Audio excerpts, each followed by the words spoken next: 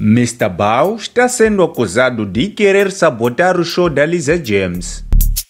Olá, eu sou Moze Emocionante. Tudo bem contigo? Se está tudo bem, inscreva-se no canal e deixe seu like. Vamos ao assunto de hoje. Tudo começou quando a cantora e compositora moçambicana Lisa James anunciou um evento para dia 4 de junho em celebração do Dia da Criança Moçambicana. E de seguida, o cantor e compositor moçambicano Mr. Bao também anunciou um festival no mesmo dia que irá arrancar o festival da Lisa James, e daí é que vem um problema. Vários internautas começaram a atacar o Mr. Bao, alegando que ele está a querer sabotar o show da Lisa James porque agendou para o mesmo dia que a da Lisa. E outros acham que Mr. Bao foi influenciado pela sua esposa Liloca pelo fato das duas não terem uma boa comunicação.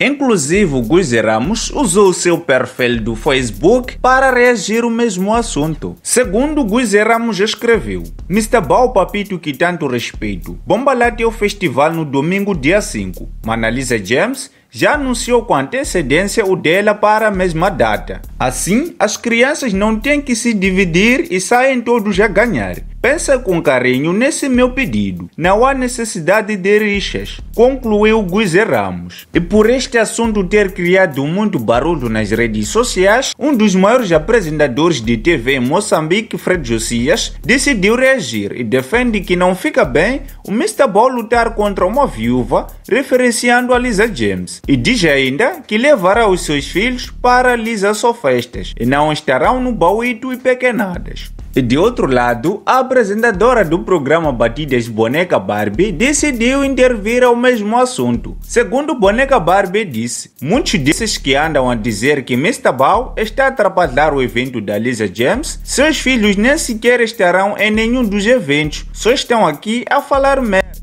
chutou e avançou dizendo que eu e os meus filhos Jennifer e Kennedy estaremos no evento do Mr. Bao, pois é lá onde ir, concluiu a boneca Barbie.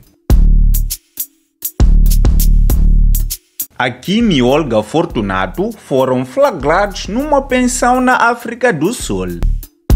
Esta informação foi avançada pelo apresentador Fred Josias no decorrer do seu programa Show do Fred. Segundo Fred Josias disse, recebi um flagrante de Akimi Olga na África do Sul. Tudo indica que os rapazes estão a brincar conosco. É tudo marketing. Eu quero pedir ao povo moçambicano, a partir de hoje, vamos lá parar de seguir esses dois, porque esses são doentes de marketing. Eu prometo e juro que hoje é o último dia que falo dessas crianças. Povo moçambicano, esses dois estão doentes. Gostam de aparecer e são capazes de fazer de tudo para aparecer. Blogueiros, vamos lá deixar de falar desses concluiu Fred Josias. São essas novidades que eu trazia para vocês. Deixem vossas opiniões. Para quem ainda não é inscrito, inscreva-se no canal e deixe seu like.